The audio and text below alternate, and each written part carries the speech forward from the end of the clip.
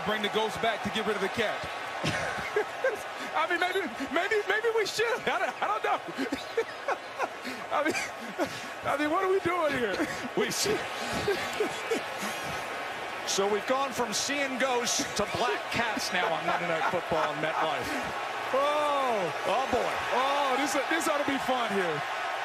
And if this oh. Cowboys season doesn't go the way it was expected to,